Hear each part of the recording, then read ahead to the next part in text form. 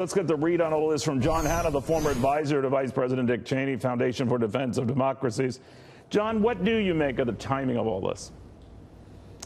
Well, the timing was clearly a surprise to everybody, Neil. But I, have got to say that the two-year mark isn't an atypical point for right. a senior administration official to, to leave an administration. So I take it largely at face value that she felt with a successful uh, second UN General Assembly under her belt just a couple of weeks ago that this was a good time to make the announcement and move on.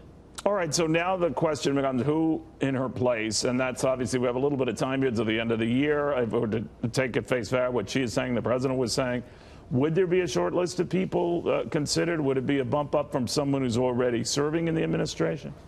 I think it could be any of those things. We're all speculating at this point in time. These are very big shoes to fill. I mean, she was incredibly effective in a very, very tough and challenging job. Uh, she did make it a very high profile, and she was certainly the highest profile woman in this administration. So whether the president would like to replace her with somebody like a Dina Powell, people hear about, uh, who worked for his administration as somebody he and his family trust, uh, is certainly possible. But there are probably a long list of senators and former senators who might not want to, who might want to take their hand at this as well. You know, I'm just wondering after the Kavanaugh hearings and, and, and, the precedent that was set of going back to whatever you were doing in high school, whether you'll find as many people volunteering for this as you would have. Yeah, well, I think anybody who's going to be nominated to this kind of job is going to have to be uh, thinking twice, particularly after the nastiness of the uh, the Kavanaugh nomination fight. But uh, I think there are still plenty of senior people out there with the credentials who are who are more than willing to serve. And like Ambassador Haley said, this was really the greatest honor of her life to be able to go into the anti-American viper's nest of the United uh, of the United Nations and uh, defend and explain the interests and policies of the United States of America to the world.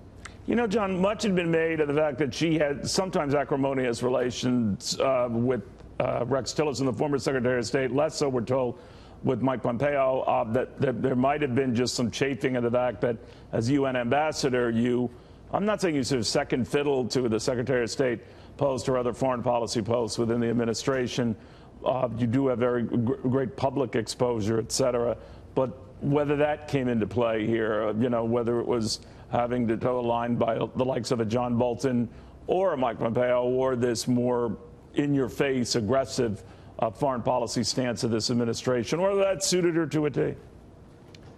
No, I, I, really don't think this was so much about substance. It is true that it was an extraordinary and unique first year of the administration in which you had a Secretary of State take such an incredibly low profile that our UN ambassador, uh, Ambassador Haley, essentially became the voice of U.S. foreign policy right. to the world, uh, which is something that clearly is no longer the case, as Secretary Pompeo has firmly taken the, the reins at the State Department. All right. Well said. John Hannah, thank you very, very much, my friend.